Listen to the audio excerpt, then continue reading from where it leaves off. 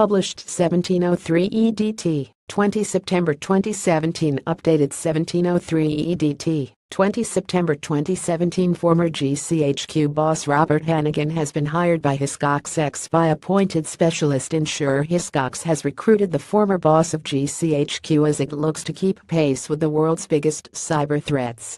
Robert Hannigan, ex-director of Britain's biggest intelligence agency, will be a special advisor on cybersecurity.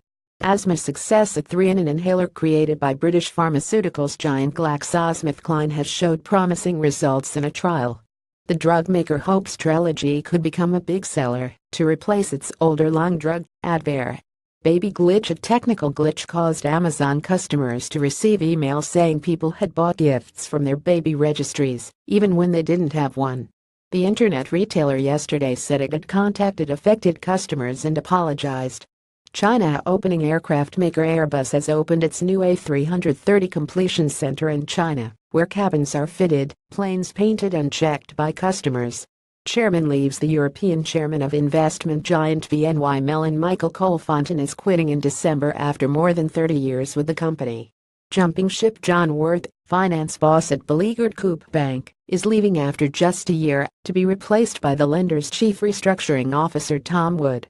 Fund order money managers who look after workplace pension funds will be forced by the Financial Conduct Authority watchdog to disclose hidden fees from January.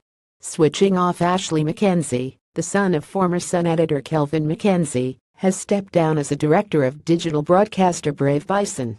Zen Swoop steel magnate Sanjeev Gupta's GFG Alliance has bought a majority stake in Australian energy company Zen.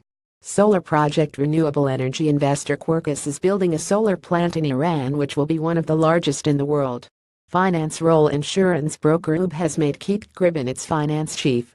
Publisher quits Deborah White has resigned as the chief executive of the media publishing firm Milestone.